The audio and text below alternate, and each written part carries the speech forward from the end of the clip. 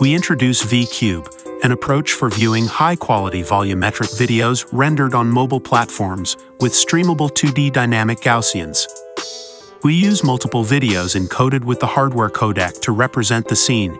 Each video represents one attribute of all Gaussians within a group. We map the same Gaussian attribute to the same pixel positions across different frames. A single pixel in multiple videos can reconstruct a Gaussian.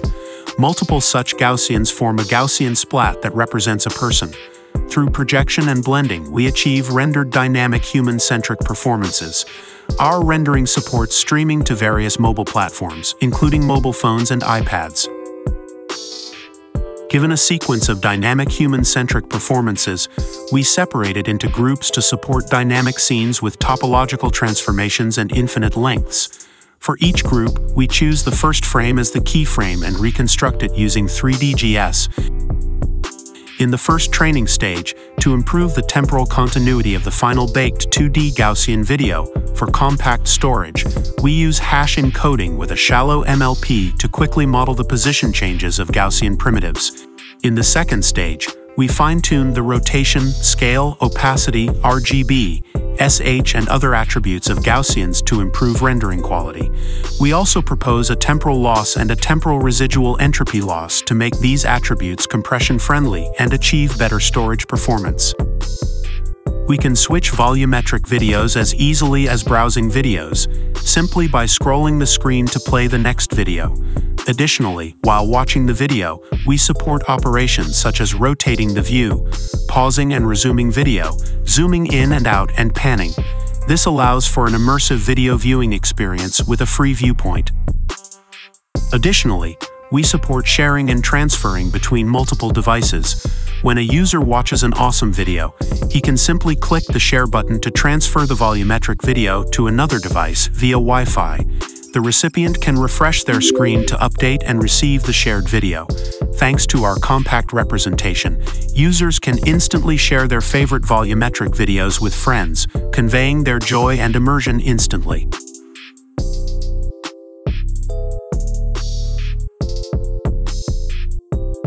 Compared to neural voxel grid-based methods like VideoRF and NeuS2, our approach reduces the impact of blur and fine textures. Although HumanRF can represent dynamic scenes, it struggles with reconstructing fine details. 3DGStream's dynamic reconstruction relies on neural transformation cache for transformations between frames, resulting in poorer quality during large movements. We evaluated each module of our method, each with a storage size of approximately 500 kilobytes. Our full module achieved the best and most realistic rendering results. This demonstrates that each module in our method plays a crucial role in achieving high rendering quality.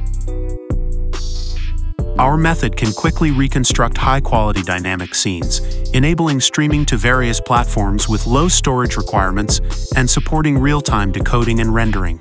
Users can watch volumetric videos from a free viewpoint in real time, providing an immersive viewing experience.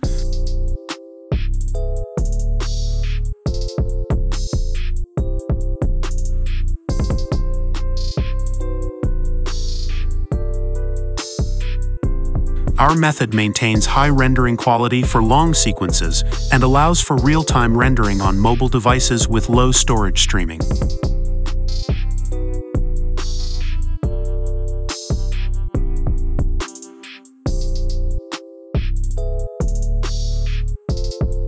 Thanks for watching.